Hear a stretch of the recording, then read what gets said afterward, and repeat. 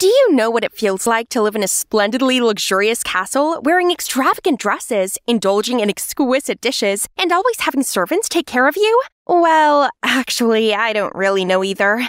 I'm just a little maid who's fortunate enough to be friends with Princess Anne. oh, by the way, my name is Diana, and I was born in the palace of a small European kingdom. Sounds like a fairy tale, doesn't it? Well, I don't exactly live a fairy tale life. I'm only here because of my mother, Stella. She had devoted her entire life to serve the queen, so in return, I was allowed to live in the castle. And when I grew up, I became a servant to Princess Anne, who was just a few ages older than me, so we immediately hit it off. Ironically, though, I'm not quite cut out to be a servant. I'm a bit, uh, okay, maybe very clumsy, and I tend to be less helpful than I actually should. When all is quiet, it's likely that I've just hidden myself away in the library, lost in its endless sea of books. It would be more fun if Anne was just as happy to spend time in the library as me, but she doesn't care much for reading or studying. She said it makes you age like crazy. But still, she must attend her mandatory classes, by the Queen's order, of course, although she'd much better enjoy cooking, cleaning, and decorating.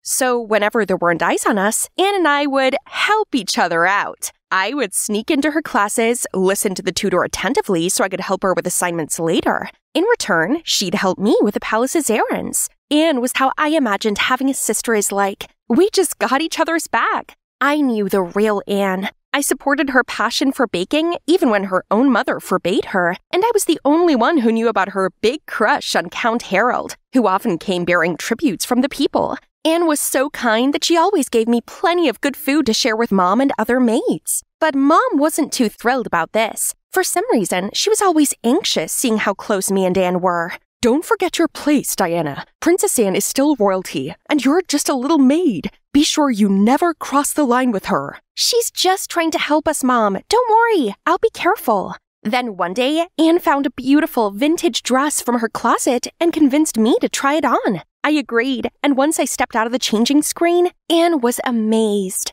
See, you'd make such a gorgeous princess. Did I ever tell you you remind me so much of my aunt, the late Queen Mary? I don't have much memories of her, but I've seen her picture in the royal family tree, and you very much share the same aura with her. I wish, Anne, but if I were a princess, I would have people do whatever I want. Like, fetch me my robes, servant, and when you're finished, my toes could use a salt bath. we were just messing around when Mom came storming in. Diana, how dare you desecrate the princess? I told you not to cross the. She didn't finish her words, but fell to the ground, holding her chest in pain. I rushed over to her as Anne ran to the hallway looking for help. Mom! I. Diana, I need to tell you something. No, Mom, save your strength. The doctor will be here any minute now. No, Diana, you listen to me. I've been hiding the truth from you your entire life. It's time you learn. What? What do you mean? I'm not your birth. Mother, Diana, just find my safe, okay? The answers are there. And don't tell anyone. She took a one last breath before closing her eyes. the doctors rushed in, but it was too late. She had a heart attack with a pre existing heart condition, so she didn't stand a chance. I spent the next week doing nothing except grieving my mother's passing. It didn't even bother me that we were not genetically tied. In my eyes, Stella was my mother, the only family I had. She loved and cared for me more than anyone else ever could. It hurt to even be here in her room, feeling her presence surrounding this place. But as I was going through her stuff, I accidentally stepped on a section of the floor that sounded hollow. It immediately sprung open, revealing a secret cellar underneath. The first thing I noticed was an intricate key shaped necklace. Next to it was a letter unveiling that this was an heirloom from my birth mother, who was none other than Queen Mary herself. Even more shockingly, she was still alive. On the day I was born, by Miranda's order, I was separated from Queen Mary, and she was held captive in the castle's dungeon. If it weren't for her pleading Miranda not to harm me, I might have been thrown into some orphanage far away. Instead, I was placed in Stella's care, as Miranda wanted to keep a close eye on me to prevent any chance of betrayal. Stella had regretted following Miranda's order ever since, as she grew to love me like her true daughter. She wanted to run away with me, but the thought of Miranda finding out and putting her family in danger stopped her. But she'd hoped that one day I'd be reunited with my mother. None of this felt real. My hands were still shaking as I held the letter. I need the answer to all my questions. I owed it to my mother to fulfill her dying wish. That night, following the instructions my mother left in her letter, I pretended to be a maid bringing food to prisoners and went down the secret tunnel.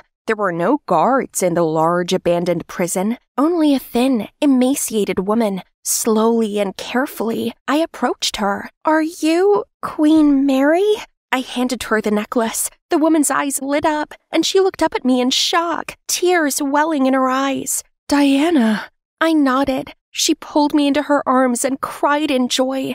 But then she abruptly pulled away from me. What are you doing down here? Miranda is going to find out. It's too dangerous. You need to leave. It's okay. No one knows I'm here. They won't find me. Still, it's too risky. My sister is an evil woman. She always wanted to be the queen. So she picked the day I was at my weakest to imprison me, subdue you, and falsely declared my demise during childbirth. That's how she eliminates any obstacles that stop her from seizing the kingdom. But Miranda will never be the queen in people's heart. She's nothing more than an oppressor, and it pains me to know she has corrupted our kingdom. But you are here now, Diana. You're the true heir to the throne. You have to stop Miranda. Me? I still haven't dared to believe any of this is real. I grew up just a little maid who's never been formally educated. What can I possibly do to overthrow someone in control of an entire country? Diana, I'm sorry I couldn't give you a better childhood, but I know deep inside you are a strong, resilient girl. Stella told me all the time how smart and bright you are, as she brought me food. Me and her both believed in you. You have the power to make things right. My mind was still swirling with all this new information, things that just seemed impossible, unbelievable. I understand why you might be doubtful, but here, leave the palace and test your DNA against mine. Once you confirm your identity, you can decide what to do next, but you can't stay inside the castle any longer. Because once Miranda finds out you know the truth, she won't leave you alone. I hesitated for a moment, but I knew what needed to be done. So, early in the morning, I packed up some belongings and grabbed some food before sneaking into a freight truck that was about to leave. But then I suddenly bumped into someone. Hey, watch where you're going! Shh! Keep it down! Why? Don't tell me you're some kind of thief. No, I'm a maid. I'm just not allowed to go outside the palace. But, um, the princess desperately wants to make a, a Dutch chocolate cake, and the storage is out of ingredients, so I need to go to market. And did you plan to sneak into my truck and have a free ride there? Ugh, I didn't know it was your truck, but if you can help me, that would be lovely.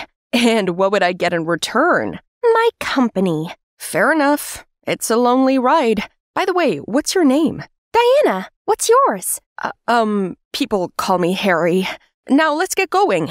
We hopped into the truck, and Harry turned out to be not such a bad companion. It was nice to have someone else my age to talk to for once, especially a handsome one. Then he turned on this music that's called pop. I swear, it was so good, I couldn't help grooving along. This song is my favorite. Do you know it? Nope. The Queen doesn't even allow us to own a radio. Oh, wow. Maybe I can sneak one in for you. I would absolutely love that. After a while of driving, we took a break in the forest to stretch our legs. I shared with Harry some cookies and baked earlier today, when suddenly a snake coiled around the lower part of my leg and sunk its teeth into it. Pain immediately shot up. Moments later, Harry dislodged the snake and threw it away. Then he leaned over, sucking the venom out of my wound without hesitation. I blushed, both confused and flattered. He grabbed some clean cloths in the truck and helped me bandage the wound. Uh, I'm sorry, that was weird. No, no, that was kind of you. And I really hate to say this, but I don't think the snake is poisonous. I read about it in a book once, but still, thank you for saving me. His face turned bright red even for minutes later. It was so cute. we then continued our journey. When we arrived in an aristocratic area where people seemed to be living in luxury, I began to doubt that the kingdom was as poor and in bad shape as Queen Mary had said until we arrived at the commoner community. I was taken aback by the small buildings and houses that were old and crumbling. The market was basically desolate, with only a couple of sellers in sight. I couldn't even find any baking supplies there. It was growing dark, so Harry asked if I wanted to crash at his place. I had nowhere else to go, so I agreed. Harry's house was shockingly small, but it was clean and cozy. His father is a doctor, and his mom takes care of his three year old sister. They kindly welcomed me and invited me to have dinner with them. Although it was frugal, to say the least, and I could tell that everyone was still hungry after the meal. I have a loaf of bread in my pack. I'd love to share it with you all if that's okay, to thank you for your hospitality. Harry's mother smiled and nodded, and his little sister squealed in delight as she dug into the loaf of bread. Since the famine began, everyone has suffered, even the ones with good jobs. We've all needed to tighten our belts a bit. Just then, a loud thumping sounded at the front door. Open this door now, or we will kick it down! As Harry and his parents rushed to the door, I hid in another room, afraid that I would be recognized. The guards were there, demanding tax payment, or else the family would be removed from their home. It hurt me to watch them fork over the money, searching their pockets to count every last coin they had. That night, I tossed and turned. I couldn't stop thinking about how Queen Miranda could oppress her own people to this point. I was flooded with guilt, thinking about how gleefully Anne and I would share the tributes taken from these poor people, unaware that they were suffering and starving. I couldn't stay in bed any longer. I crept out into the hallway and down the stairs, and suddenly spotted Harry's father, reading a book under a lamplight. I'm sorry to disturb you. No worries. Anything I could help you with? Um, I actually do need your help. You see, I left the palace because I wanted to confirm something. If you could please compare my DNA to this, this person believes she's my birth mother. Sure. It might take a couple of days. That's fine, but please do not tell anyone about this. He looked confused, like he wanted to ask more questions, but seeing how reserved I was, he didn't. The next morning, I helped Harry and his mother clean up the houses of other people who couldn't pay the tax last night. The guards had ransacked a number of homes looking for the money, and now they were left starving and penniless. It couldn't go on like this. I need to find a way to feed the people first. So I came up with the idea of hunting some wild animals in the forest for food. Then I instructed each household to build a hidden cellar under the ground to store their food and keep their properties to themselves. I was so focused on the dire situation that I didn't even have time to worry about the DNA results until I received them that evening. The result shows that you and the other person are indeed related. I see. It also shows that the other DNA belongs to the late Queen Mary. May I know how this is possible? I, um, uh, it's because Queen Mary is still alive. And if the result is true, that means I really am her daughter. At that moment, Harry unexpectedly entered the room, jaw dropped. You're what? It's the country's fair day today, or as I like to call it, my winning day. See that huge plushie over there? It's about to become mine. Ready, set, and yes! Bullseye! I excitedly took the bear when it suddenly got yanked away by this crazy bull. Hey, I won that bear fair and square! But I saw it first. Now hand it over, Hobbit. Hobbit? I yanked the bear from him, but it ended up ripping in half. His girlfriend burst into tears, and now I'm like a red rag to him. He rushed towards me, and before I could even think straight, my fist took over. How many times have I told you, Angie? A girl doesn't just raise her fist and cause trouble like that. It was self defense. He was gonna hit me, Mom. I'm done with this. Like father, like daughter. Why are you even bringing him up? He left us years ago, so let him stay out of our lives. Even thinking about him made my blood boil. I turned to the window, avoiding the look I knew my mom was giving me. When we got home, we found the door open. Something wasn't right. I quickly ran into the house and saw black shadows standing in our living room. Who are you people? What are you doing in my house? All hail our new leader! The lights suddenly came back on, and I saw them all bow to. me? Angelina, I've been looking forward to meeting you. I'm Nick Mason, Mr. Bruno's right hand man. My dad sent you here? From this day on, you will become our new leader of the X organization on his behalf. You gotta be kidding me! For so many years, he hasn't cared about whether we live or die, and now he suddenly wants me to take over? And look at you all. This organization seems no good. Please don't misunderstand us. X organization was founded by your father to help the local people and fight for justice. But things took a horrible turn, so I'm afraid he's gone to jail for a little while. He's in jail? Oh, my head! Fighting for justice? That's why he's in jail now? Your father put the safety of the seaport local first. In doing so, he fell into the enemy's trap. You will understand him better if you accept his wish and become our leader. As much as I hate to admit it, I missed my dad. He once promised that he would skip his work and hang out with me on my birthday, but then he just disappeared without a word and has been quiet for the past six years. Until now. Darling, I have something for you. She gave me some old letters and a plushy bear, which I'd begged my dad to buy for me. She'd hid it from me the whole time, as she was mad at my dad for always risking his life for things that weren't any of his business. It turned out that my dad had still cared about me, even without me knowing. Mom, I've made up my mind. I hope you'll support me. So, my mum and I had a long journey to the seaport of the city where my dad's X organization was secretly operating. We walked into the market, then stopped at a large fish shop. How on earth does an organization have their secret base in such a crowded place? The most dangerous place is the safest one. Remember that. I remembered my dad used to say this to me when I was a kid, too. This must be his crazy idea. Nick led me into a room at the back of the store and introduced this as the organization's base. So, this is where my dad used to work, and he'd still kept the same old hat all these years? Let's get to work. There's been a lot of theft going on in town lately. Every night, the thieves break into stores and steal everything they can. People are panicking right now, so we need to solve this as soon as possible. Isn't this the police's responsibility? If they were capable, we wouldn't have to get involved. That's why your father maintains this organization. Now you need to settle in a bit. I've arranged your accommodation and enrolled you in a local school. Remember, your identity is top secret. For the next few days, at 5 a.m. every morning, Uncle Nick got me up and took me to the port to tell me more about the thieves. However, he just joined the fish auction the whole morning instead of actually doing anything serious. So I went somewhere else and pretended to talk to the fishmongers about the burglaries in town. At that moment, a guy in a cap that covered his face bumped into me. Hey, dude, nice bracelet, but ever taught to apologize? Hey, hey, take it easy. You're making a scene. Okay.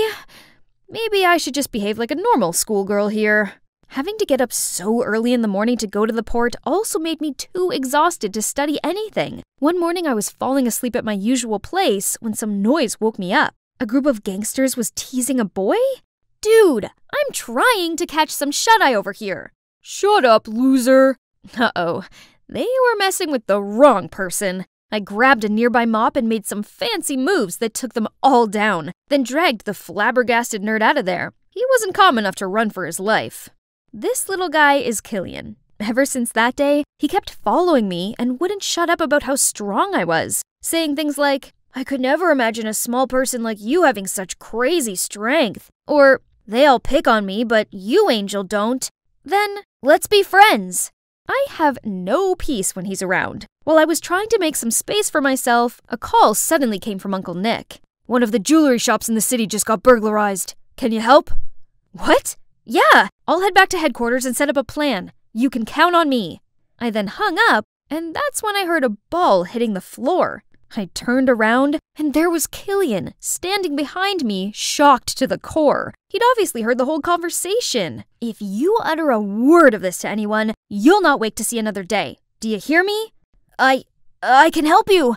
I know this town like the back of my hand. Okay, we can be friends. Or associates, as long as you keep quiet. After school, Killian and I rushed to the crime scene. While wandering around, I spotted a shiny thing among the broken glass. It must have been from those thieves.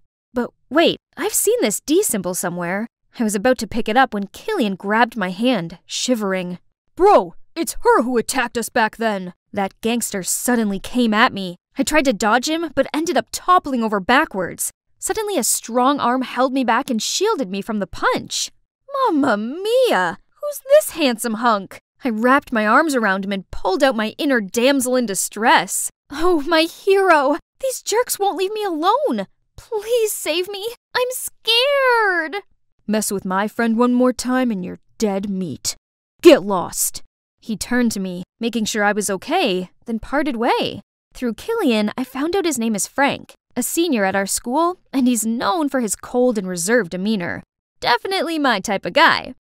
Wait, what about the bracelet? I returned to the broken glass window. The bracelet was nowhere to be found. At school, all students were constantly talking about these recent burglaries. Everyone was worried about who would be the next victim. When will all this nonsense stop? I wonder who their next target will be. Don't you see? The recent victims were all the big shots in town, and the crimes were all on the days the police weren't out patrolling. So then, Graham's jewelry shop and Holden's boutique store could potentially be their next target? That makes sense. Uh, wait, Frank? Now that you're here, I feel so much safer.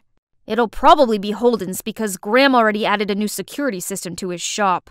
Please stop fiddling with your hair like that. Good observation. The police don't patrol the port tonight, so they might make a move. So stay still inside, will you, sweetie? Aww. But his sweeties still gotta watch Holden's shop and catch the thieves red handed tonight. An hour had already passed, but nothing had happened. Right at that moment, Nick received a phone call that Graham's shop had just been robbed. The thieves broke the security system and everything had been taken. Nick snapped at me for acting impulsively without having any clear evidence. But this felt so sketchy, though. Holden's store was way more vulnerable. It's like they knew we were waiting to ambush them here. A few days later, while I was patrolling around the shopping street, Killian informed me that there was a suspicious masked man sneaking around the pearl shop. I immediately dashed there, right at the moment he was breaking the lock. In the blink of an eye, I kicked him, knocking him to the ground. Angelina! Holy crickets, are you okay? I looked up to see Frank running towards me. The thief immediately rose up, causing me to fall back, then fled the scene right away. Catch the thief, quick! Frank and Killian darted past me and followed the guy. I waited for them at the harbor, but only Killian came back. Sorry, Angelina, but I have to say this. There's something fishy about Frank. I think he's on the thief's side.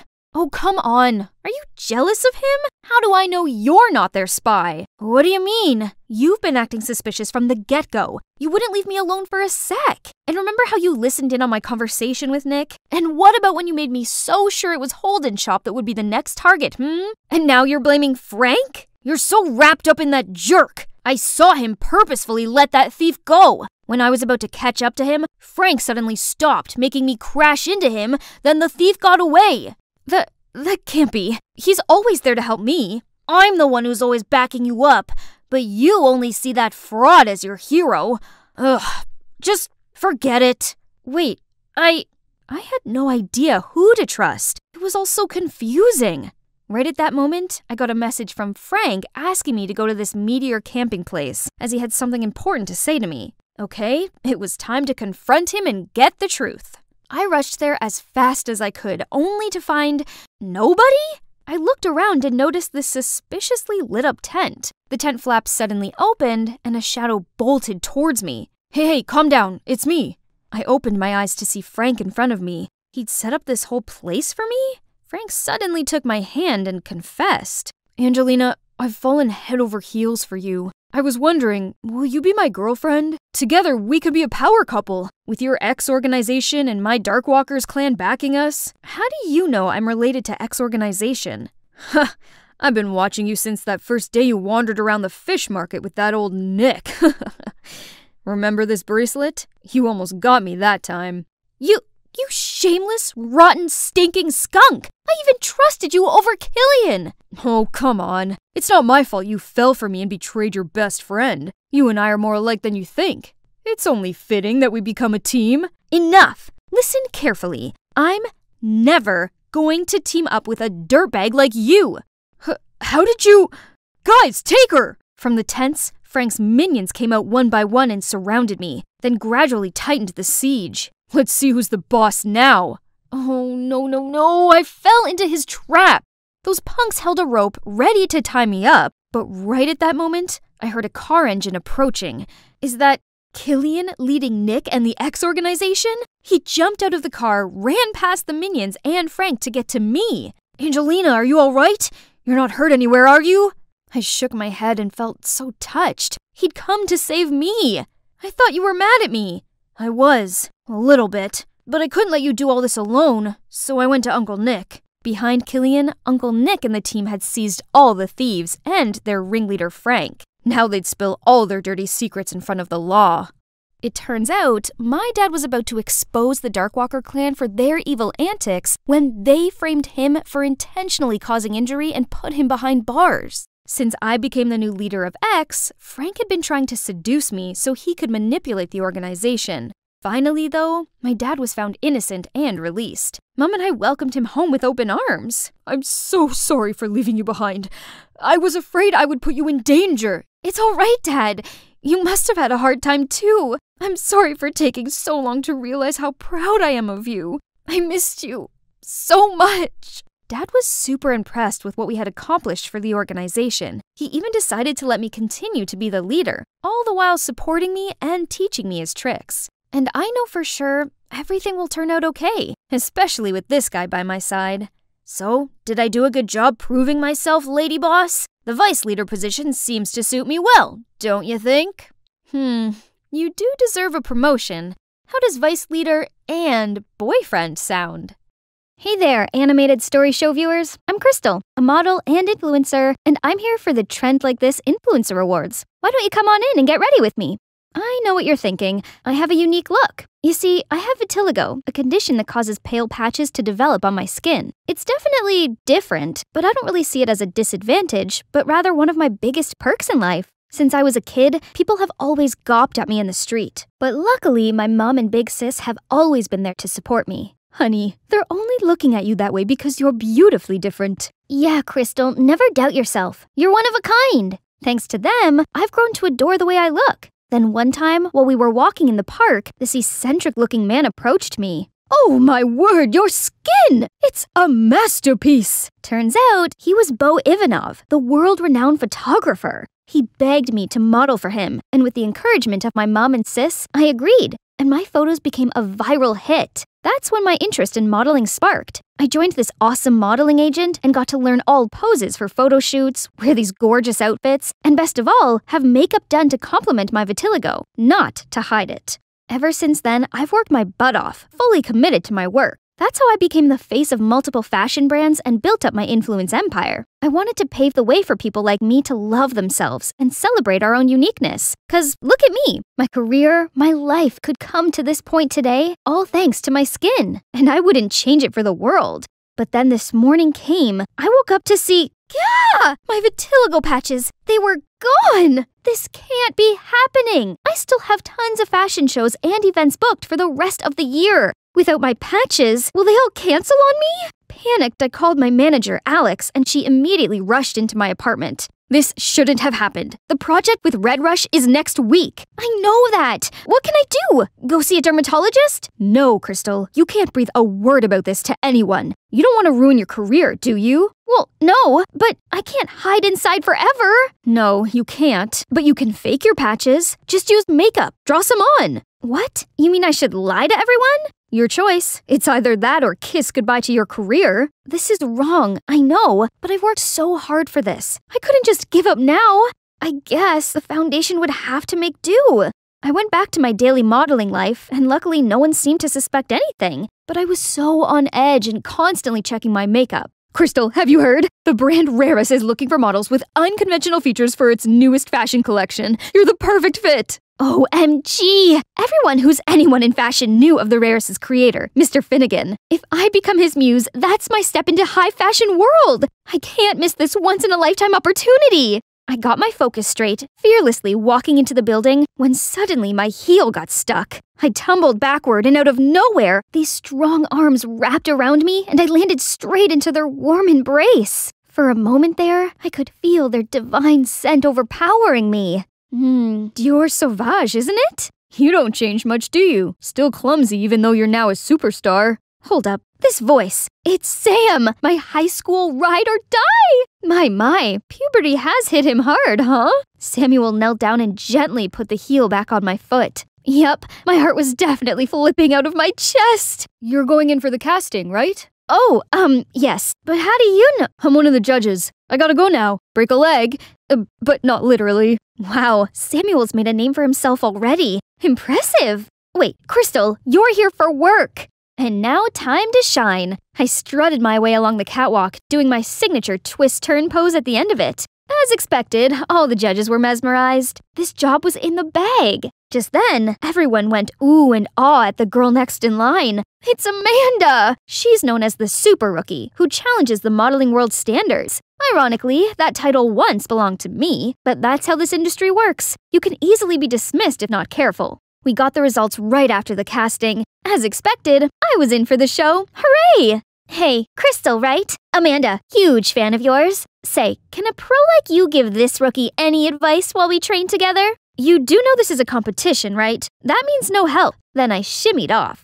Day one of the training, and I already messed up. I had to disguise myself to sneak out and buy a new one. Crisis averted, but this did make me 30 minutes late. You're the professional. Act like one so us amateur can look up to. A veteran in modeling. Or so they say. Those chicks wouldn't miss the chance to dethrone me, especially her. Welcome, everyone. May I introduce you to our Fall 2023 Haute Couture collection. It is inspired by the elegant art of ballet, so besides your usual training, you'll have a chance to learn some of the moves to capture its true essence. Then I'll pick my star, my vedette. Ballet? I hadn't done that since the accident! Little six year old me was having a ballet performance and had to do this crazy spinning technique. But somehow I ended up twirling like a humming top, then face planted right on the stage. I never forget the audience's mocking waves of laughter. No, get yourself together, Crystal. Whatever the challenge is, I'll succeed and rock the vedette position.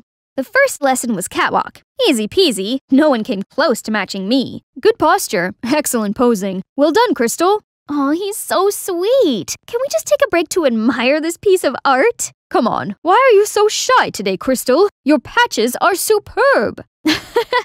Except they're just the magic of makeup. But the nightmare had only just begun. Jeez, these clothes were way too tight. They got me melting like the witch from The Wizard of Oz. Gotta go touch up.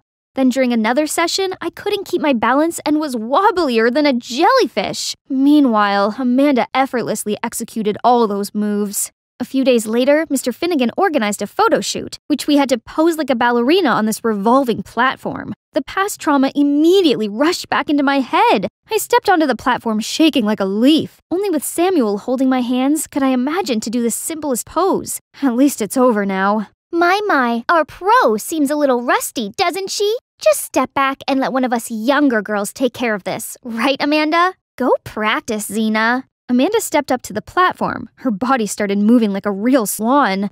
Gorgeous, Amanda! You're as graceful as the ballerina in the musical box. That's it. I think we got the shot. Well done. The whole set erupted in applause, and Amanda was the center of attention. Looks like you could learn a thing or two from your junior. Look, I may not be the best ballerina out there, but I'll show them where 1000% efforts get me in life. So I stayed later after the training to practice more, starting with stretching. Ouch, not as easy as it looked. Okay, let's try again. Just have to raise my leg and. Whoa, whoa! Okay, this time it has to work. And now the hardest part, sur le point. Uh oh. Just then, Samuel appeared, trying to catch me, but we both ended up stumbling on the floor. Don't try too hard. You may hurt yourself. It's just the vedette means a lot to me. I know you can do it. You've been such a positive influence, and I know that energy can get you what you want. No, my patches. I I'm sorry. I didn't mean to. It's okay. I crossed the line. I'll just leave now. Don't, please. If you only knew the truth, you wouldn't think so highly of me. Hey, what's wrong? You can talk to me, you know. Just then, the lights brightened around us. What are you two doing here at this hour? Samuel looked startled and immediately kept his distance from me. Nothing. I saw Crystal practicing. Thought I could give her some advice. That's not fair. I need some too. What do you think of my releve? They started laughing together like a married couple. Since when did they get so close? After a few days of intense practice, I may not be a ballet master yet, but I did feel more confident about facing the final challenge, which decided who would be the vedette. Look at this gorgeous couture design! I would make a perfect black swan. I tried the dress on, but accidentally smudged the foundation and got it all over the dress. Oh no! I immediately rushed to the bathroom trying to wash the stain off. Stupid foundation! Super stain my butt! The door suddenly snapped open and in stepped Amanda! You, your vitiligo patches? They're coming off? And what are you doing with the dress? I tried to hide it, but she already snatched it away from me. Is it foundation stain? Did you fake your vitiligo? No, no. I was diagnosed with vitiligo for real. I, I swear. I told her the truth, thought she was going to use it against me, but to my surprise, she looked heartbroken. I decided to pursue modeling because I felt inspired by you, but now you're telling me it's all a scam? How could you? Amanda, wait, please. I I thought you were against me. Does it matter anymore? Now that I got a taste of the truth, you don't deserve my respect. I was at an utter loss for words. I'd been so wrapped up in fear of losing my career that I couldn't care less how my action could affect those who looked up to me. I'm nothing more than a hypocrite. I couldn't live like this anymore. Vitiligo or not, I had to stay true to who I am. I walked straight up to the judges panel and wiped all my foundation away right in front of them. Mr. Finnegan, I no longer fit in your collection. The truth is, my vitiligo has gone. I no longer have any unconventional features. Thus, I'm here to announce that I will cut myself from the show. I'm deeply sorry for all the trouble I caused. I turned to walk out the door, but there stood Samuel. Crystal, I don't understand. I'm sorry, Sam. I'm not the person you think I am. I ran home, hid under the blanket, and cried myself to sleep. Suddenly, a call from my manager woke me up. How can you sleep at this hour? The press is going wild. They're calling you an attention seeking fraud. I immediately came to my senses and looked up the news.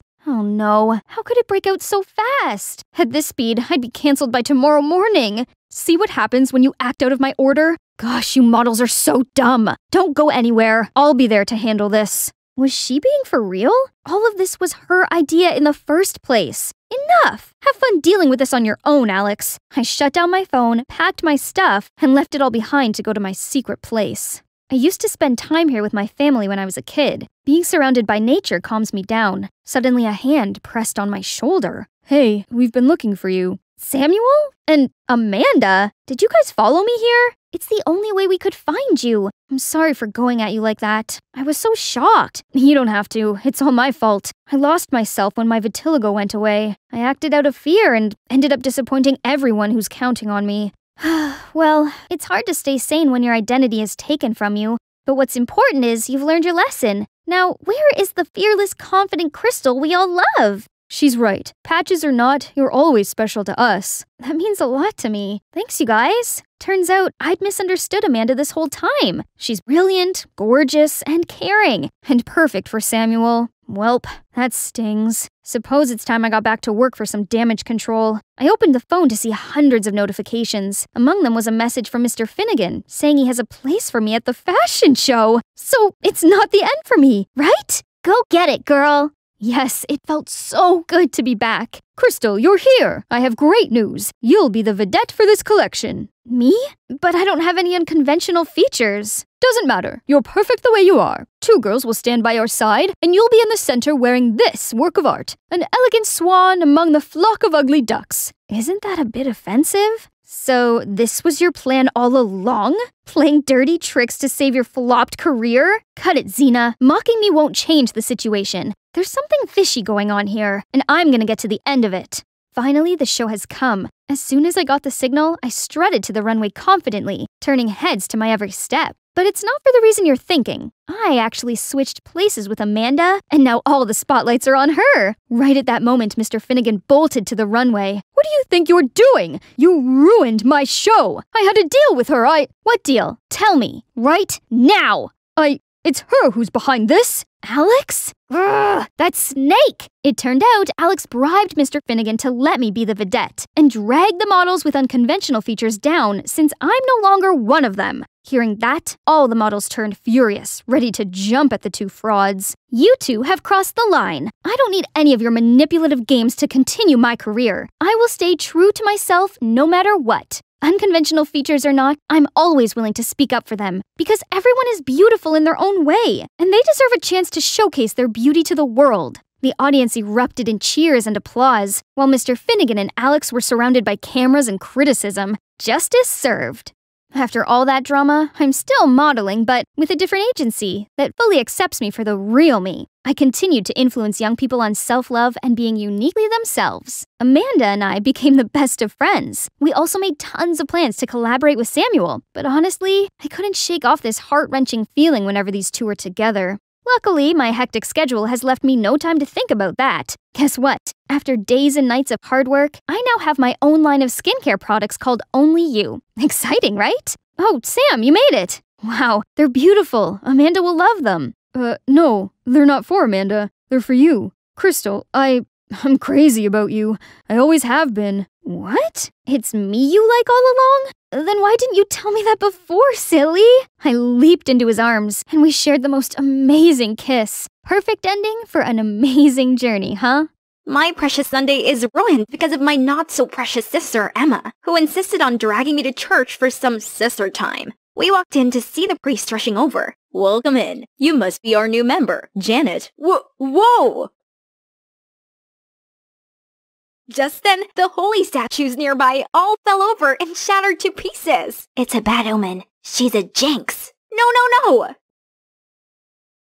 You devil! Get out of here! Yep, that's me. You're probably wondering how I ended up in this situation. Hi, my name's Janet. If you think I'm a jinx too, you're seriously wrong, because animators rewind that last scene, pause it right there, and... See that? That's my sister, Emma. And fast forward a bit more. Pan over, please. There. That right there is the ringmaster behind my so-called bad luck. You must be wondering why I hadn't exposed Emma that day. It's because everyone is fooled by her naive Cinderella look and never believed how a living angel could do such mischievous deeds. But the truth is, she's the devil. She did everything to make me look like a walking disaster everywhere I go. But who am I, huh?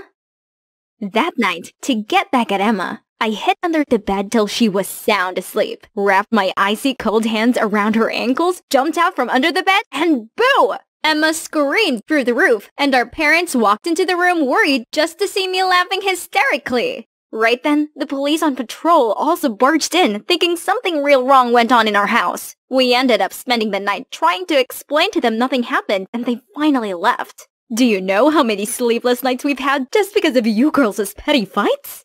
That's it. I'm signing you both up to join a community farm from tomorrow. What? But Dad, I can't live amongst animals and dirt. For once, I agree with Emma. There's no way I'm going there. You're not going back till you learn to live with each other. Living with Emma 24-7? I'd much rather be the Jinx now. So the next morning, Mom and Dad drove us to the farm to live off the land and bond together. But look at this tranquility and picturesque scenery. Maybe coming here wasn't such a bad idea after all. Suddenly, a loud, obnoxious track started playing from inside my suitcase, startling the animals, and they went rogue. Stop the music! But my suitcase was locked. I caught Emma smirking, pressing her phone, and the music suddenly stopped. Once everything was under control, the farmers gave me looks of disapproval. Just when I thought things couldn't be any worse, a trailer nearby slipped off and began to roll downhill, heading straight for an oblivious farmer. Emma immediately swooped in and pushed herself and the farmer out of harm's way just in the nick of time. Richard, are you okay? Oh, yes, thanks to this young lady. You saved my life. What a good luck charm you are. That trailer has been sitting there for ages without any problems. Why did it suddenly break just now? Oh, it's my sister. She has this reputation for bringing bad luck wherever she goes. I apologize on her behalf. No, no, no, no! Don't listen to her! She's evil! That's not something you should say to your sister. Look at her! What an angel! Emma immediately activated her manipulating power. Aww! Come on, we got the nicest room for you. Hey, what about me? The next morning, I was told to milk the cows while Emma didn't even have to lift a finger, just wandering around and pulling pranks on me. In a panic, a guy appeared and helped me out. What happened here? The hoses are all snipped off. I'm so sorry about that. It's my sister's stupid prank to get me look like bad luck. Interesting. Oh well, we'll hand milk the cows until we get them replaced. Hand milk? That'd take forever. Emma's gonna have to pay. Hey, no need for that. I'll give you a hand. I'm Kai, by the way. He gave the brightest smile, and I instantly felt better. I'm Janet. Thanks for helping me, but which buttons do I push to get milk? Kai cracked up, and I felt like the dumbest thing in the world. I'm sorry, but that was so cute. Okay, you don't push any buttons. You squeeze it, like this. Just then, Sylvia walked by and saw us. Well, well, well. Who makes you smile like that, Kai? Janet, you are really something, huh? As she left, I felt my heart racing and saw Kai blushing also. Whew, it sure feels hot like summertime. So, Kai, how long have you been living here? Just recently. I'm actually a skier from the city too, but I came here due to some stuff. Come on, Let's go sell the milk. Kai and I then made our way to the bustling market. Surprisingly, customers were eager to get their hands on our milk. I was ready to make my first hard-earned cash when suddenly, you'd better watch out. You'd better not buy. Better not drink this milk right here. Jinxie Janet's coming to town. The crowd buzzed with concern over our milk. Actually, I thought someone else was a jinx. You see, our milk is especially fresh today, all thanks to my good luck charm, Janet. She and I worked all morning to milk the cows by hand. Thanks to Kai's words, the crowd was excited again. Just like that, we sold out in just a few hours. Woohoo! But when we got home, people started praising Emma for bringing good luck to the business. Actually, it was Kai and me who milked the cows, and more thanks to Kai who did most of the heavy lifting. She has nothing to do with this. The room suddenly felt awkward and people started to look away. Only Sylvia cared to acknowledge us. I see. You two make a great team. What about us? I think we'll make a better team. Get off of me, you creep! Ouch. Feisty. Oh my gosh, are you okay? Why are you acting like such an animal, Janet? I'm alright. She may be a bit cold right now, but she'll warm up to me in no time. Right, princess? Emma immediately gave me a death stare. Aiden, why are you here? I'm here for you, brother dearest. Mom and dad are worried sick back home. Holy cow, these two are related, but they're nothing alike. Well, it does explain why their tension was scorching up the room. Stop it, you two. Always with the bickering. It's getting late. Janet, will you go and lock the barn door? Oh, oh yes, definitely. But before I reached the barn, a hand suddenly pulled me back. Keep your claws off of Aiden. He's mine. Oh, I see. You're smitten with him, huh? Well, too bad, because he seems to like me instead, sister. How dare you! Emma dashed ahead of me towards the barn, turned all the lights on, blew on the deafening whistle, and the sheep went wild again. I desperately tried to stop the panic herd, but no use. Only when the farmer showed up and let the shepherd dog do his job was the scene under control. This is all your fault. You'll bring us nothing but bad luck and chaos. That's not true. I was trying to help while this was Emma's doing. Stop with all the blaming and start learning some manners, will you? Hmm, I was stunned. Behind Richard, Emma grinned slyly. She won this time, but not for long. Cause how about I steal Emma's crush, aka Aiden, right in front of her?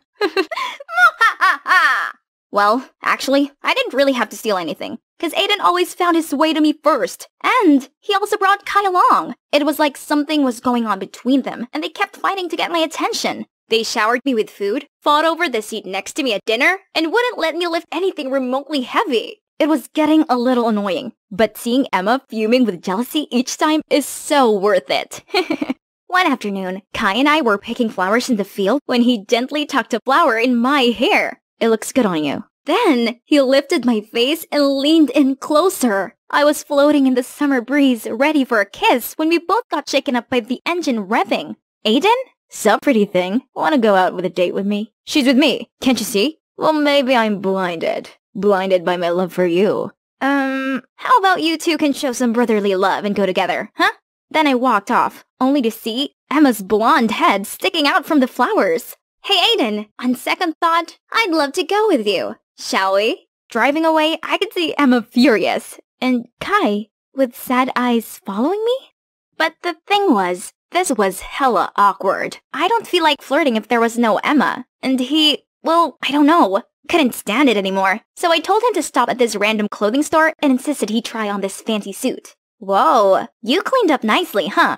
Do I not look good usually? Well, you kinda look like a hooligan.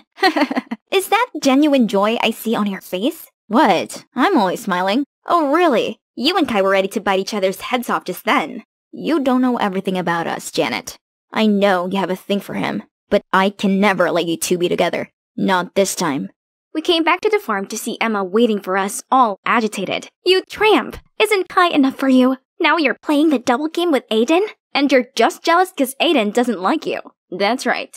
I only have eyes for Janet. She and Kai were never together. So quit sticking your nose into our business. Emma couldn't utter a word. For the first time, she seemed so vulnerable, then rushed away in tears. Look what you did, brother. Playing with both Emma's and Janet's hearts is a low blow. You're one to talk. Wasn't the thing with Tina your low blow? Tina? Tina who? Tina was your crush. I had nothing to do with her. It's about time you get over that. That's not what Tina said. She told me you flirted with her, and you abandoned her when she's falling for you. She lied, okay? She wanted to use you against me, and never once reciprocated her obsessive behaviors. I just want to leave everything behind and enjoy my life here, with her. So Aiden, please, just let us be. Too bad. She seems to like me instead. Can't you see? She doesn't care if her sister likes me. She still chose me over you. Dang, those words hit me hard. I didn't realize what I'd done to Emma all along. it's time to end all these silly sibling conflicts. Guys, stop. Can't you see are hurting each other just like Emma and I? Janet, this jerk plays with you and Emma. He deserves a fist or two. No, Kai. I'm not exactly innocent either. I was also using Aiden to get back at Emma. You what? I know, I know. But all these petty revenge doesn't bring us any good. No one wins at all. And honestly, I regretted having hurt Emma. And so should you guys. you want this golden boy to drop his sky high ego? Yeah, good luck with that. I'm not a golden boy, Aiden. Are you kidding me? With all your success and skiing trophies, mom and dad can even see me behind all that. When you left home, they freaked out and made me go looking for you. Do you know the reason I quit skiing and left home? Cause mom and dad wouldn't stop pressuring me. It's suffocating. Every time I stand on the rink, my whole body shakes like crazy. I'm not perfect, Aiden, and I did not want to take away any attention from you. I'm sorry if you ever feel that way. Well, I didn't know. You could have told us what you'd gone through. To who? To mom and dad? The ones who keep pushing and nagging? Sorry I wasn't there for you. Heck, I was the worst. Right? You two could work this out. Now, if you excuse me, I have my own sibling conflict to resolve. I was about to leave when we heard Emma screaming, Fire! Fire! Help! We immediately rushed to her, and the fire already caught on the haystack. It was spreading fast. I, I accidentally knocked over the oil lamp. What do we do now? You go call the firefighter. Aiden, you go get everyone here. Us two, we will go get water. Go, go, go! Kai and I tried our best to pour bucket after bucket of water, but it only stopped the fire from spreading, not put it out. We almost exhausted ourselves when the farmers arrived along with the firefighters, and luckily, after half an hour, everything was under control. Phew! But then, the farmers started surrounding me. It was because of you, isn't it? Every time incidents happen, you're always on the scene. Coincident? I think not. There we go again. But this time, I'm too beat up to even say anything. Then, there was Emma, petrified in fear, so I used every last effort to stand up. That's right, I knocked over the oil lamp and caused this fire. What are you doing? It's okay, I'm used to this. No, it was my fault. Janet's just trying to take the fall. In fact, this whole time, I was the one doing all the damage and blaming it on Janet. Was this for real? Emma standing up for me? You? Is this some kind of childish joke? You could have really harmed everyone here. This is our life work, not your girls' playground. I, I'm truly sorry. That's it. Tomorrow morning, you'll have to leave here for good. Both of you. We had no choice but to call our parents to pick us up. Meanwhile, I gotta pack my stuff. Hey, I know I've been mean to you since forever, so why did you still take the blame for me? I'm just tired of petty fights. Besides, I feel bad for stealing Aiden away from you. I don't have any feelings for him, and I don't think he falls for me either. I just wanted to mess with you. I figured. Um, I actually heard what you guys were talking about before, and it hit me hard. You know, I used to enjoy being the only child. Yeah, no kidding. But honestly, when you came, it felt like all the attention and love was stripped away from me. I felt so lonely and jealous, so I decided to make you the center of attention, but in the worst way possible. I'm sorry. It's okay. It's all in the past now. I just want us to get along. And me not be called a jinx anymore. You got it. The next morning, our parents arrived all angry. We were so ready for a long term grounding, but once they saw us holding hands, they were pleased. Honey, I think your plan worked. I knew it. You two can be little troublemakers, but deep down you still love each other. Come on, let's go home. Can we just wait for a few minutes? I don't want to leave without saying goodbye to Kai. But what took him so long? I gotta get going. Then Kai finally showed up. Wait up! I rushed out of the car and ran to give him a big hug. I thought you wouldn't come to say goodbye. How could I not? Especially when you forget the most important thing. Really? What is it? It's me, you silly. Oh, you're coming back to the city? Yes, I have a reason to be back now. To the city, to skiing, and what is it? It's you. Suddenly, a tree fell over right beside us and crashed the mailbox, causing all of the mail to fly out. you really are bad luck, aren't you? Hey, that tree was already rotten. And don't you think that it barely missing us means I'm good luck? I'm just kidding. Hi there, I'm Anita, a science pro and robotics prodigy. I've won countless trophies, including one for making a talking replica of BB 8. But it's my crush's heart that I can't win. Tom has just refused to accompany me to the last middle school dance. But who cares? I've got my bestie Barb. It'll still be fun. We can go together. We arrived at the dance to find that everyone had dates, except for us. Well, this is a little awkward. Move. This is a dance floor, Grannies. Either you dance or get out. Bet this is the first party you've ever got to attend. As if Tom would go out with such a loser. Yeah, you should try asking your robots out instead. As they walked off laughing, I felt so disheartened. Barb told me not to listen to them, but their words niggled away at me. I realized if I didn't change, then I'd waste the rest of my teen years by being a loser that got left out of all the fun. I needed to reinvent myself now before it was too late. Over the summer break, I thought it over and realized that there was only one way forward. I should flip the script, where nobody knew who I was. And this is the perfect occasion for that. High school! I purposely chose a school that's across the city. It's a bit inconvenient, but that's how to be sure I'd not run into anyone from my local middle school. Of course, except for Barb. She's going there with me also. Hey, recognize me? I'm still Anita. Like my new look? I've had a style update, ditched my glasses and all the uncool geeky stuff. Ooh, let's surprise my bestie. Anita? Whoa, talk about a Captain Marvel transformation. Gee, thanks. This hair color is so in season right now. Hang on, you look just like Chelsea. Oh, do I? How funny. You sound like her too. Okay, so Chelsea was this popular girl from middle school. Um, yeah, I may have spent all summer studying her. Alright, I actually mirrored her style and mannerisms. I'm just learning to better myself. This isn't any different from using humans as models when programming a robot. Besides, it's not like Chelsea's here to mind. Speaking of robots, how's your BB 8? No, that's my past. We'll never be cool and get boyfriends if our peers think we're nerds. Come with me after school, I'll give you a makeover too. It's okay, Anita. I don't mind being a nerd. But if this makes you happy, then you have my full support. My sweet, naive Barb has no idea how incredible being cool would be. They're the cool kids here, aka celebrities. They're so dazzling and popular. And oh my god, who's that? He's so dreamy.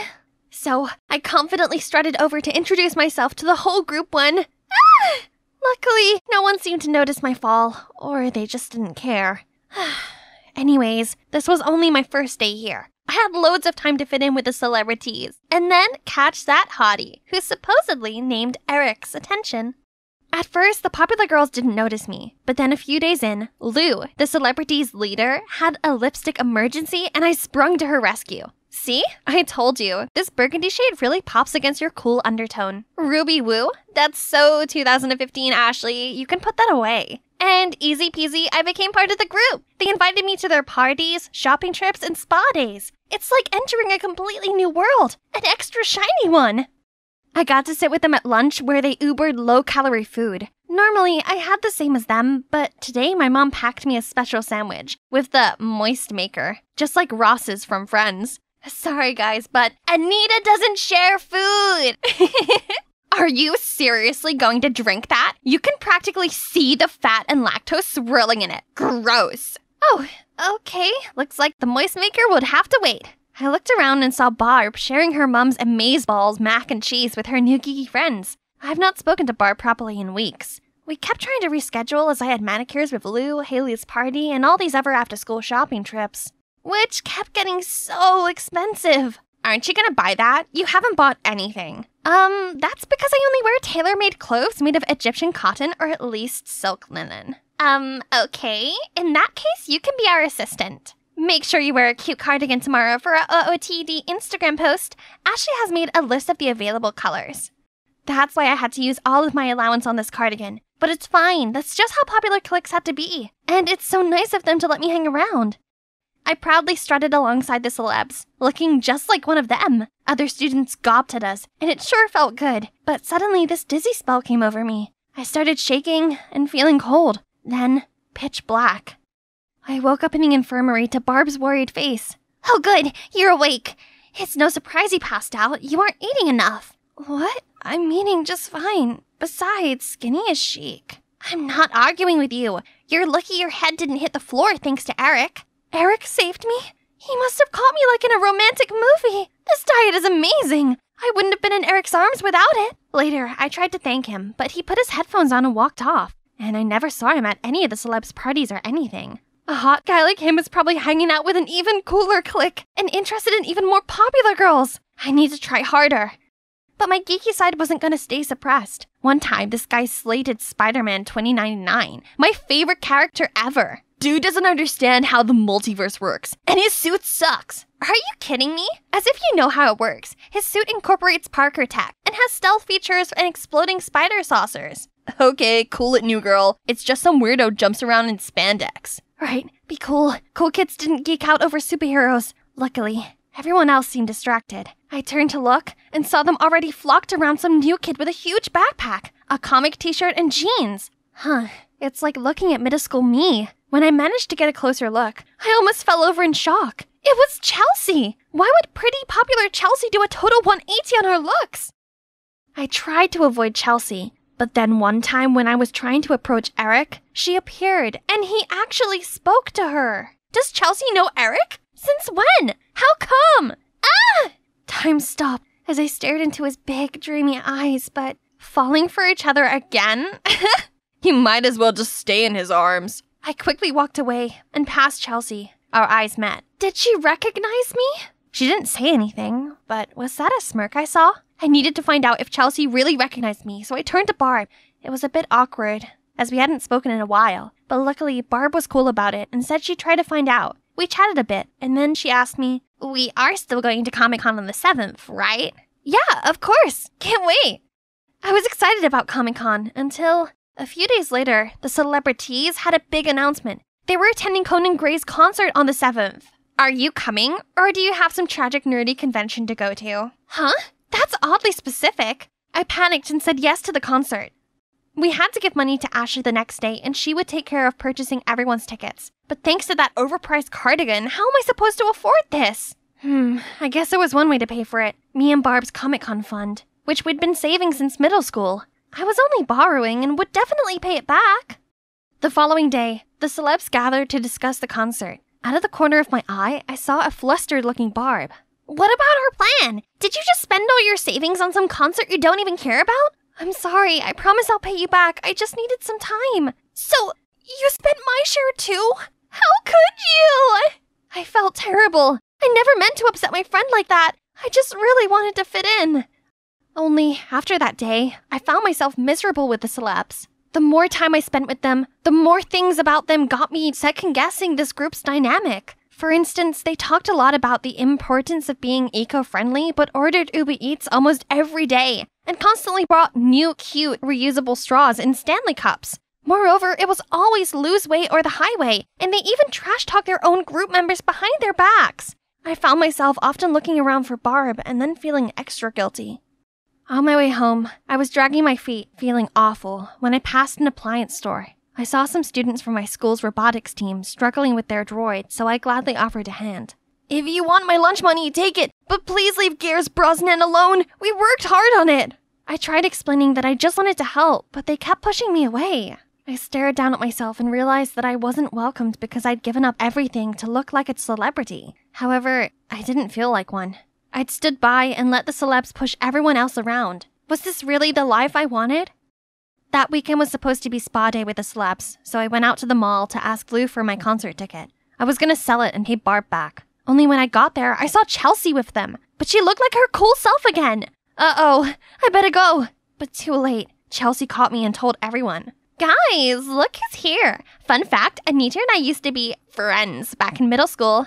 Cover yourself in foundation all you want, but your nerdiness will still show. Everyone started laughing, and that's when it dawned on me. They were all in on Chelsea's plans to expose me. I wanted to leave, but I still needed my ticket back. Sure, you can have it back, but on one condition. Wash off your Chelsea disguise and go back to being pathetic little you again. And so they told me to wash my hair in this decorative basin in a lush store before everyone's confused eyes and their live streaming cameras. I swallowed my pride and did it for Barb. But afterward, Lou turned back on her word. Actually, I gave it to Chelsea. Tough luck. Oops, too bad I never agreed to the deal Lou made with you. I felt overcome with panic and shame. I ran and I bumped into someone. Eric! Seeing how upset I was, he took me for coffee and a chat. As soon as we sat down, I burst into tears and told him how I'd lost everything my popularity, dignity, friends. It all started to fall apart when Chelsea turned up all of a sudden, and then the domino effect took over. Chelsea? I'd always known she's catty, but I never thought she'd go that far. How can you be friends with her? what? No, it's not what you think. You still don't recognize me? What do you mean, recognize? Then he revealed that he was from my middle school. I was shooketh. But if I squinted real hard, I guess he did look vaguely familiar. Whoa, puberty hit you like a truck. Same for you. Yeah, no, it wasn't puberty for me. I got emotionally scarred from being an outcast and became afraid of missing out on cool stuff, so I turned myself into a Chelsea clone to be popular. That's insane. But if it means anything, I prefer the old you. It's great seeing you at the school, but when I saw that you changed and joined the celebs, I was kinda apprehensive. But for real though, I would have died for you to notice me. I was beyond surprised. He liked me all along? Suddenly, Chelsea jumped in. Why has it always been her? I changed myself to look like her. Didn't you say you liked nerdy girls? So why not me? Say what? Chelsea liked Eric? So she really copied my look. And for that reason? I'm sorry, Chelsea, but it's my feelings. I can't believe you rejected me twice for this little nerd, and she doesn't even look like herself anymore. Chelsea, it's never been about looks, it's about who she is. In the midst of it, I finally understood something. I was fine just being me. I never needed to be anything else. I've switched schools and turned myself into a dork for you! Ah! You're lucky this time. I watched Chelsea stomp out. I realized how I was constantly anxious and on edge, that I'd messed up while hanging out with the celebrities. I missed the truly happy moments with real friends where I could just be me. All this time, I thought I'd been missing out on all the fun, but turns out I missed nothing. The true way to have beautiful teenage years is to spend it with people that really appreciate you and do the things that you actually enjoy. I thanked Eric, then left. There was something important I needed to do first. I went home and fixed my BB 8, then took it over to Barb's house. Sorry, Barb. I'm so sorry, Barb. I was so desperate to be cool that I overlooked what really mattered. I miss you and our friendship so much. I missed you too. And I saw that humiliating video and just wanted to know you were okay. On second thoughts, I'll forgive you if you give me your BB 8. no can do, as I'm selling it online to make money to pay you back. I only brought it here to make my apology more meaningful. Did it work? We both hug. The next few days at school, I tried my best to fix things. I returned to my old image, well, with a slight upgrade. I can't let my beauty skills go to waste now. And I dug out all my geeky stuff. I showed up at the robotics club, and this time I confidently strode over and immediately fixed their robot. I told you I could help. Don't judge a book by its cover. That's a celebrity's job.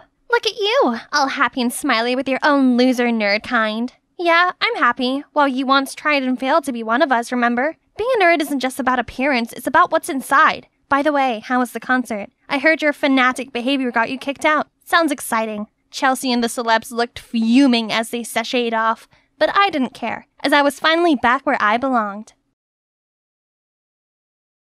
The rich socialites chilling in their family luxury resort was a sight to behold. Grayson Andrews, the heir of the giant Andrews Corporation, who was just back from his Europe tour, and his sister Veronica was the notorious I want it, I get it girl. Ahem, this orange is oversweet. But, miss, this is fresh orange with no added sugar. Whatever, add some salt or anything. Immediately. And bring me a sandwich with the beluga caviar here, too. Yes, miss. You've become some grumpy old lady recently, Ronnie. Right at that moment, their dad hurriedly walked in, looking urgent. Kids, I have something serious to tell you.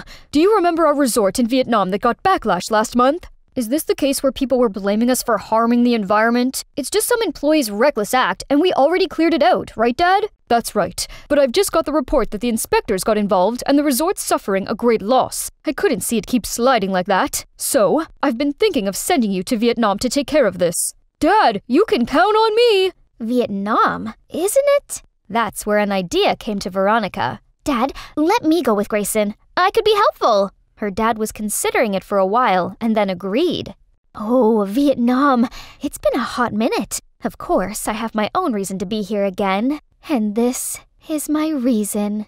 It all started back four years ago when Veronica's family gathered at Nam Family's resort on Lunar New Year, Tet Holiday. Wow, my friend, see what you're building! You're right. I bet everyone would love this. Honey, this resort is surely profitable with this design and location. If only we could own one like this. Meanwhile, 14 year old Veronica was totally mesmerized by someone else. Right at the moment her eyes caught the sight of Nam, Veronica was sure she met the one. Oh my, is this what people call love at first sight? Look at you! The little kid now grew up into a pretty girl, huh? Here's your lucky money. Instead of lucky money, could you please give me your lucky son? Everyone burst into laughter at her cheekiness, including Nam. I heard Nam is an excellent student at school. We can't waste talent, right? So, I think I'll offer him a scholarship in America. What do you say? A scholarship in the USA? Surely it's a good opportunity for me. He turned to see his parents' reaction, and they all nodded encouragingly. Thank you, Mr. Andrews. I'd do my best to pay back your kindness. But he definitely wasn't the one who enjoyed this the most, as our Veronica's heart was singing with joy, too. So that summer, Nam flew to America with all of the eagerness and excitement about the land of dream. He'd be staying with Mr. Andrews' family for the time being, and enrolled in the same school as Veronica and Grayson. And within the first week at the new school, he already established himself as a genius. It didn't take long for him to top in every single subject, and teachers were satisfied as he was also active in school's activities. Son, I'm so proud of you. Cozy as it seemed, the laughter in a warm family dinner didn't shine on the host's son, Grayson. I'd never heard the proud word from Dad before. Being the heir is not easy, but I tried my best. Why was he always the one outstanding? After the dinner, when others left, Mrs. Andrews approached Nam. Don't think my husband gave you some compliments that you believe you're above anyone. Remember, you're just a parasite on my husband's kindness. So Mrs. Andrews didn't like me here. I'd better be careful. From a corner, Veronica was hearing what her mom said to Nam. Mom's always been hard like that. It's all right, Nam. Be strong. You have me here. And she made sure she'd be anywhere Nam was, and no girls could come near him. Nam, be my boyfriend. Will you? Ronnie, don't make a scene here. Aw, did he just call me Ronnie? Everyone, attention! Nam is mine. Don't you dare bother my man. To seal up even more, she stuck a bunch of stickers on his clothes and bag.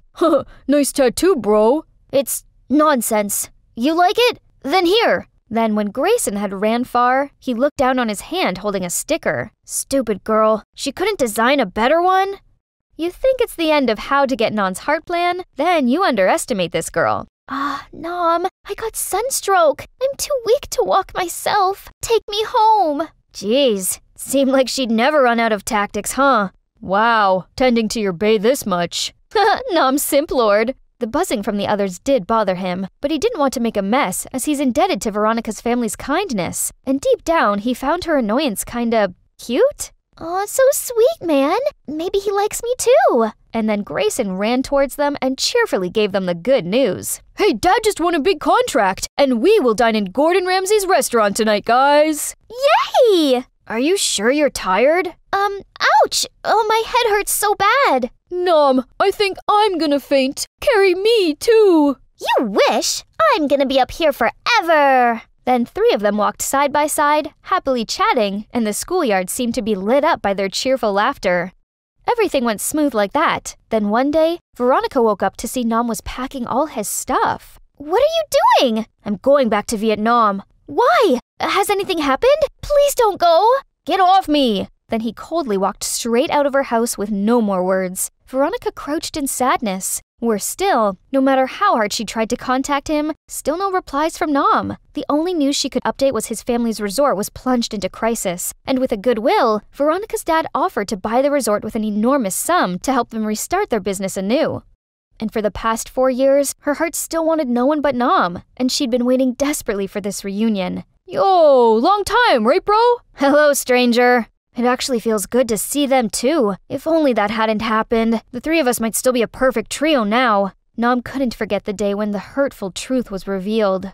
It's it's you who schemed against our resort? But why? Huh, you should ask why your father had that impeccable resort that makes me want it to be mine. Thanks anyway. You I'm gonna tell Mr. Andrews. Suit yourself. But remember, two families are working together on a project. Let's see. If we withdraw, who knows? Your family will go bankrupt. Do you really want that? Huh?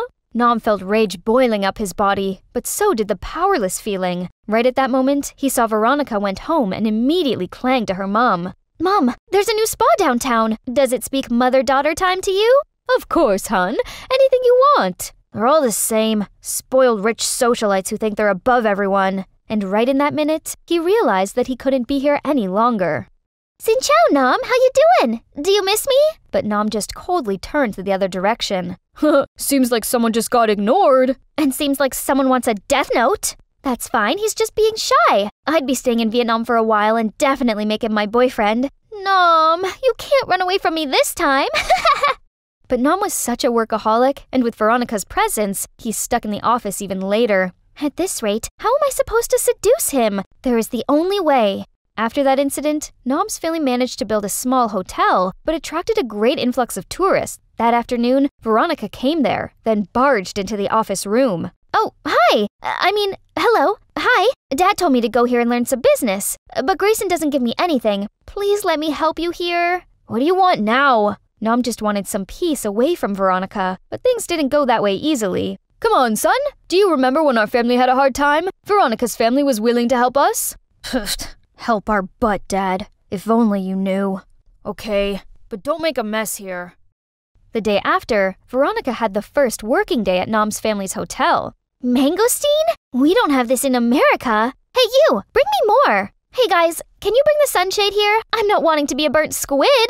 Didn't you tell me you wanted to learn? Get off your butt. Then Nam gave her loads of errands that she hardly had time to breathe.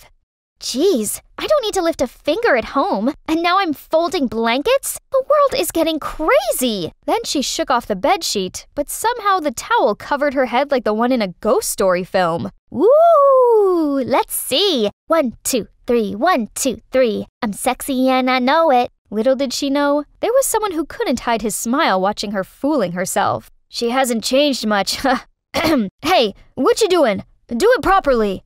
Later, Veronica was dragging her aching body back to her family's resort after her first working day. Oh, I can't feel my hand anymore, and my feet hurt running around. Stop whining, Ronnie. It's nothing to what I've done today. Planning the strategies, promoting the services, blah, blah, blah. Grayson turned around to see his sister already sleeping like a log. He gently put the blanket on her when he received a phone call from Mum. Hi, Mom. I'm doing just fine. No need to worry. Hey, I heard Nam's family's hotel is doing good, right? But right at the time our resort suffered? Coincidence can't explain this properly. Grayson, I'm sure he planned to get this revenge for the past thing. I don't think he's that much. anyway, Mom, you still hate him after those years? I hate your dad always comparing you with him. This low class will never be on the same level with my son, right? What Mum said didn't stay still in Grayson. It's true that Dad always regarded him more than me. Even when he's gone back to Vietnam, Dad still talked about Nam being this, Nam being that. Next morning, Veronica got up and freaked out that she'd overslept for more than two hours. When coming to the hotel, she received a glaring look from Nam and a long list of errands that seemed not to end. Gosh, I have to do this for how long? Finish it, and we're going out for lunch. Hearing that, Veronica diligently cleaned every corner of the hotel, making sure no single speck of dust left. Yay! Let's go for lunch! Huh? But why you're here as well? Happy being the third wheel? Then they went to a local store selling chicken rice, which was definitely out of Veronica's expectation. What the heck? Eating on the street? Nam, I don't like this place. I'm sweating like a dog already. Go to some restaurant and treat me with beefsteak. If you don't like it, then don't eat. No worries. I'm gonna take care of her plate. Come on. Okay, but you have to feed me. Uh. Feeling others' eyes on him, Nam had no other choice but to act along. At the first spoon, Ronnie didn't expect the taste explosion of the soft and tender chicken, as well as the gravy and rice. She immediately dug in the plate and finished in seconds. Slow down! No one takes your food. Then he gently wiped out the rice on her cheek, making her heart skip a beat. Later, Veronica and Nam took a stroll around Han River. You ask about Grayson? Veronica successfully cut the tail and made him stay still in a coffee shop. Oh, Vietnam summer is definitely like a giant oven. Aha! How about the classic move? Then Veronica wobbled like a jellyfish, aiming to fall into Nam's arms, but he suddenly walked away, leaving her landing face right on the ground. She scrambled up to see he was already chewing the fat with some random girl over there. Veronica immediately stormed in like a crazy bull towards the girl. Hey, who are you? I'm Nam's girlfriend. You better stay away from him, or else. Sorry. See you next time. Then Nam hastily dragged her away. What are you doing? She's not the one you could mess around. She's my biggest partner. Is that so? I. I'm sorry. You, go back to work. Right now. Then Nam caught up with Grayson at a coffee shop by the river. My sister is a little annoying, right? As her brother, I do apologize to you. She's fine for the most part, but sometimes. Yeah, you know. I don't know what to do with her. There's always an answer for everything, bro. The next day, Veronica came to Nam and saw him about to go somewhere, and as usual, she insisted going along with him. Enough! Stop goofing around! But I like you! You know that! Right at that moment, a girl walked over to them. Babe! Immediately, Nam turned around and pulled her in his arms. Here you are! Then he kissed her on the lips, and Ronnie was frozen in her spot. Voila! Finally done! The most exhausting part of moving mansion was having to rearrange my Birkin collection. But at least my walk in closet is bigger than my last one, so now I need to pick out the perfect outfit for school tomorrow. First impressions are crucial. This is my favorite fit at the moment, but let's get a second opinion. Mom, Dad, what do you think? Wellstone High's new Queen Bees incoming! Adele, there you are. I bought you a few new items. Ooh, goody! I love surprises. What is this? Mom, are these for the maids? Honey Pie, it appears that well off residents in this neighborhood have been targeted by a dangerous robbers gang. For your safety, you'd better tone down your outfits, at least until they catch the thieves. I know it's not ideal, but safety first. Come on, Pumpkin, isn't this shirt adorable? No, it's not. I'm not being seen dead in that rag. My parents were probably just exaggerating. Let's see. Hmm, it seems some girl had her Hermes bag stolen, another her Cartier bracelet, and some guy his Rolex. No, no, I couldn't let some crooks take my precious babies. The next morning, I trudged downstairs in those awfully bland clothes. Ugh, they were itchy and smelt so bad. Darling, this will only be for a little while. You're our only angel, and we simply couldn't bear it if anything were to happen to you. Fine. Where's my chauffeur? I want to take the Porsche today. At least that can still save my grand entrance. Absolutely not. If you do that, you may as well be wearing a beacon to attract those thieves. I think it's best if you take the bus. The bus? Before I could protest anymore, Mum kissed me on the forehead, burst into tears, and ran off hysterically. Have a wonderful day, sweetie. Great. So much worrying for me. Now I had no choice but to find the bus stop, wherever that was. I wandered around the corner when suddenly a deafening scream came from behind me. Thief! Watch out! I spun around to see a guy running towards me, so I immediately sped off. But soon I felt the thief reach me. Terrified, I crouched down, raised my bag. Here, take it! Don't hurt me! But no reply. I peered up and saw the guy was ahead of me and was restraining a bad guy. Turns out he wasn't the thief, and the actual thief wasn't after me. Oops, how embarrassing. Let's just leave ASAP, but I ended up crashing into some flashy car. Are you okay? It's the guy who just caught the thief. I froze. He's so handsome.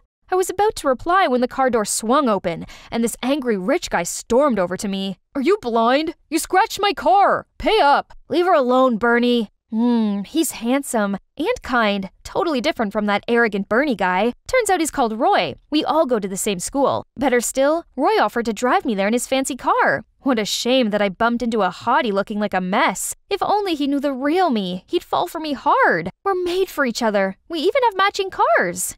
We arrived at school to a bunch of fangirls waiting to greet Roy. Makes sense. He's handsome and oh so rich. What's not to like? Roy told them I was new here, but they didn't seem so pleased to see me. Roy, it's so sweet you're helping out the less fortunate. Ugh, these peasants! If only they knew the real me. To prove to Roy that I was so much better than those other girls the next day, I snuck my designer clothes to school to get changed. When I spotted Roy, I hurried over to dazzle him, but that annoying fangirl Maya interrupted us again. Nice try, new girl, but your knockoff clothes won't impress anyone. You shouldn't judge someone by their clothes. That's very kind of you, Roy. But we both know that only a Chanel girlie like me would be a good match for you. Everyone started to make a fuss, but Roy just shooed them away to leave. Ugh, thanks to those wannabes, I'd missed my chance with him. After class, I changed back into my boring plain clothes ready for the bus home. What is this tacky fabric? Suddenly, Roy passed by. Cute shirt. I think it suits you much better. There's nothing wrong with dressing down. It brings out one's natural beauty better. Wow, it seems that rich boy Roy wasn't a show off. What a blessing in disguise this pretending to be poor was. Roy clearly liked me more this way, so I should keep it up. Once, I pushed a bike to the end of the street and waited for Roy to pass by so I could make out it was broken and ask for a lift. It's definitely not because I don't know how to ride a bike. Over the next few days, I clung to Roy. I told him how I didn't know anyone at school yet or where anything was as an excuse to get him to take me to the canteen. But look at the food. Really? Are we supposed to eat this? Oh, we've never gotten to eat stuff like this at home. Uh, looks yummy. Luckily, Roy felt sorry for me even more and just caringly explained the menu. The next day, I brought in my own lunchbox with Roy's favorite, mac and cheese, which obviously was made by my chef, but he doesn't need to know that. He clearly enjoyed it, but then commented, Adele, you shouldn't waste your money and effort on me like that. Please just spend it on yourself instead. Ah, even though he was wealthy, he was so thoughtful of others. Hmm, how come I'd never thought of things this way? On the weekend, I went to a fair my parents were sponsoring in a nearby town. I wandered off by myself and suddenly spotted a familiar face selling caramel apples with some kids. Oh no, Roy! What was he doing here? He couldn't see me all dressed up like this. Before I could dart away, his eyes locked directly on mine. Roy! Hello? Why are you looking at me so strangely? Ah, uh, this dress. It's handmade. And, um, my mom found these shoes somewhere. Enough about me. Why are you here? Oh, I'm volunteering at an orphanage. The kids, they're the ones that grew these apples. Oh my god, could this guy be any cuter? Even though he's loaded, he's so down to earth and humble and he wants to make a difference. I really have to learn a lot from him. Later, I took the bus back to town with Roy. We continued chatting even after stepping off the bus, but then this convertible pulled up alongside us. Ugh, it was Bernie and Maya. Oh no, don't let her drag you down like that, baby. Where's your Rolls Royce? What's this? Isn't this Chanel's archive? Adele, are you? Yeah, right? This is a fake one. Now, please, leave. I grabbed Roy's arm and pulled him the opposite way. Adele, are you okay discrediting your image in front of Bernie like that? I mean, he's popular and rich. Everyone wants to impress him. I'm not that kind of social climber. He's such a conceited, bossy jerk. Unlike you. Roy seemed touched by my words as he invited me to go to the grape farm with him next weekend. Okay, so I thought Roy had invited me here for some relaxation and fresh air. I didn't expect to be made to carry out tasks. This was probably his way of challenging me, and no chance I was going to fail it. The workers here are immigrants from different countries, but thanks to my extensive traveling, I ahem, know quite a bit of foreign languages, enough to ask them to show me what to do. And it just so happens that my parents are obsessed with vintage wines, so I know my Chardonnay from my Cabernet Sauvignon. Oh, these grapes will make a fine Malbec. n'est-ce pas, Pierre? Oh, uh, I taught myself different languages and watched various documentaries to improve my skill set. Uh, it's nothing. Later, Roy needed to re roof the barn, so he climbed up a ladder while I stayed below and passed him tools. But the ladder began to wobble, and he screamed at me to jump back. But instead, I stayed there and held up my arms to catch him. Are you okay? That was dangerous. Why didn't you step away? I couldn't watch you get hurt. Also, to have you falling for me would be everything I ever wanted. We rested in the corner, and that's when Roy told me that he liked me. I think you're one of a kind, but I don't want there to be secrets between us. I like you too! And that's true. We should have zero secrets. So, I want to come clean. My family's actually rich. Super rich. I'm sorry for not letting you know sooner. What about you, Roy? Do you have any secrets? Um, actually, my parents own this farm. Only the workers don't know about this, so please don't tell them. Aw, humble Roy. He's really the sweetest. He was also very understanding about the reason why I had to hide my true background. Finally, the gang leader of the robberies was caught. Things seemed to be back to normal, and this meant I could publicly go back to being me again. Everyone looked at me with different eyes. Only, Roy didn't seem all that impressed. When I invited him to my favorite restaurant, he told me he didn't like those stuffy places. Plus, he had too much work at the farm. I really wanted to go on a proper date with Roy, but I suppose just being with him was enough so I agreed to help him out at the farm. As we waited for my chauffeur to pick us up, someone leaped out of a bush and snatched my gold necklace. As I gripped my bare neck in shock, Roy darted after them and grabbed it back. I noticed the robber say something to Roy before he fled. I later asked Roy about it, but he just shrugged it off. The next day at school, a woman in tatty clothes ran in, saying she urgently needed to find her son. When she saw Roy, she rushed towards him. Oh, here you are! I thought something happened to you! Someone told me you were in trouble! Everyone began chattering. Roy, you're wealthy. Why don't you buy your mom some nice clothes? He looked dumbfounded, then muttered, I'm not rich. I lied. What? Why? You always said money didn't matter, but you live in this facade? Roy avoided my eyes, mumbled out a sorry, then led his mum outside. So, this whole time, I didn't know who he truly was? Feeling hurt and deceived, I screamed out that it was over between us. My heart was cracked into two. This was horrible. Then I arrived home to see my parents frantic. Someone had sent them a threatening letter saying, I will come when you least expect it and take what I want. My parents were terrified that something bad would happen to me, so they hired bodyguards to protect me. The next day, a whole squad showed up, and to my utter shock, amongst them was Roy. What are you doing here? What's your scheme? I replied to the advert. I didn't know it was for you. Please, Adele, I need this job.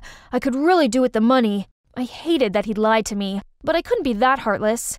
So I agreed that he could be my bodyguard as long as he knew his limit. Having Roy follow me everywhere really sucked. So when Bernie appeared and asked me out, even though I didn't particularly like the jerk, I agreed to it. It felt good to dress up and be taken to fancy restaurants, and it felt even better to see how raging Roy looked. On my way to the restroom, Roy stopped me. Bernie's not who you think he is. Please stay away from him. I put his words down to jealousy and shrugged him off me. If anything, what he said made me even more determined to get closer to Bernie. So when he suggested I throw a party at my mansion for my 16th birthday and invite all my friends, I immediately agreed. The party was great. It's been a while since I was able to have fun and forget about the recent shenanigan for a moment, thanks to Bernie. Wait a minute, Bay. I've prepared a big surprise for you. The lights went out, and I waited, wondering what it could be. But it's been a little too long. I called out for Bernie, but nothing. I didn't hear from Roy either. Realizing something was wrong, I found my way inside the house and was suddenly grabbed by someone. Shh, let me show you something. He led me to the garage and I caught Bernie trying to start the supercar. Next to him was a bag full of priceless jewelry. That was fast, but I didn't come here alone. Yeah, but your teammates are already taken care of. Then Roy opened the garage door and the cops rushed in to arrest Bernie. Outside, I saw a couple of other robbers being led away in handcuffs. You again? You can act all high and mighty all you want, but you're no different from me. It turns out, even after the leader was caught, the robbers gang was still alive and well, and Bernie was a member. He only pretended to be rich to fool his victims and provide intel to the gang. Knowing my true background, he's the one who stole my necklace. But the mission failed because Roy stopped him. As revenge, Bernie leaked information about Roy's family. I should have exposed your rich kid facade sooner. I let you off several times out of respect for our close friendship, but you still wouldn't leave me alone. Close friend? Who falsely accused me of theft then? As he was being led away, I suddenly remembered something. What about the letter? Why did you do such a stupid, unnecessary thing? Bernie looked confused and insisted he didn't have time to write insignificant things like letters. It was me. I wrote it. I knew Bernie wouldn't stop trying to steal from you, and I didn't want you to get hurt. So I sent the warning letter for your family to take cover. Roy walked off, but I went after him. What about some accusation between you and Bernie? Is it the reason why you have to live a fake life? Roy explained he and Bernie used to be close friends. Roy was always poor when Bernie's family was a little better off. Roy discovered that Bernie was involved in some petty thefts, so Roy tried to make him stop, but he only took revenge by accusing Roy. Although there was no specific evidence, due to his poor family background, people always assumed that he'd done it. So when Roy transferred schools, he decided to pretend to be rich so no one falsely accused him again. Oh, my poor Roy. Ugh, why is finding my balance so tricky? Ouch! Roy helped me up and checked I wasn't hurt. You don't have to do this. Just live your life as comfortably as before. Nope, I want to do this. This way I can cycle to see you whenever I want. A flashy car or fancy outfit doesn't change my value as a person, but working with you felt good. And you know what? Even though you're not as well dressed as when we first met, I still like you a lot.